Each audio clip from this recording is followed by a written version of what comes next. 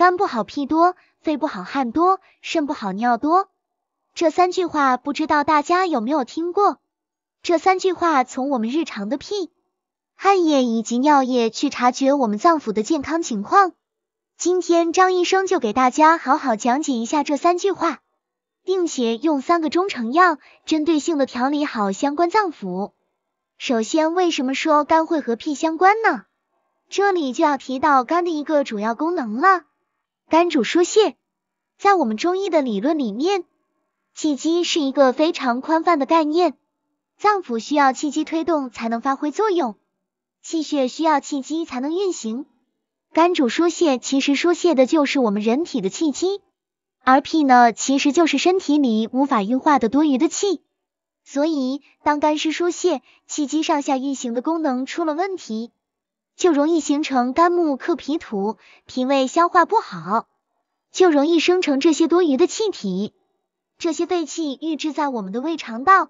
屁慢慢就多了，这个时候呢，大家可以参考一个沉香化气片，这个药可以理气疏肝、消积和胃，专门用来治疗肝胃郁滞的情况，疏通气机，让你摆脱屁多的烦恼。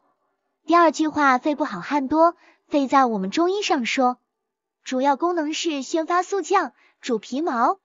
那我们人体的表面呢，其实是由一层胃气固护的。那什么是胃气呢？你可以理解为胃气是一层可以透气的保温层。那我们皮肤上呢有许许多多的小毛孔，正常情况下，胃气会固护着这些小毛孔，不让汗流出来。因为汗本身也是我们人体的津液，不能随意流失。那肺主宣发的功能，是为这层保温层源源不断提供能量的。所以，我们就可以理解为，当肺虚了的时候呢，这层保温层变薄，盖不住这些小孔了，自然汗就流出来了。那这个时候呢，我们治疗一定要以宣肺为主，把这份能量供应上去。这个时候，大家可以参考一瓶风散。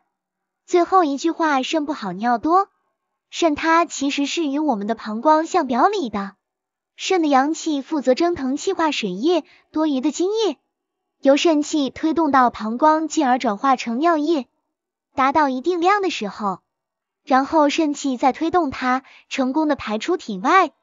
同时呢，肾气也要拦住膀胱，不需要打开的时候让膀胱闭合起来。当肾虚的时候呢，这个闭合的力量不够了，还没攒够量就憋不住了，就形成了尿频的症状。这个时候可以参考一个金匮肾气丸，通过肾阳化肾气的方式缓解这个症状。那今天的分享到这里就结束了，我们下期再见。